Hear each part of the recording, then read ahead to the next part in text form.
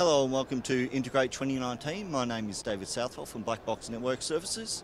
Uh, one of our new products uh, that I'd like to show you today is our MCX.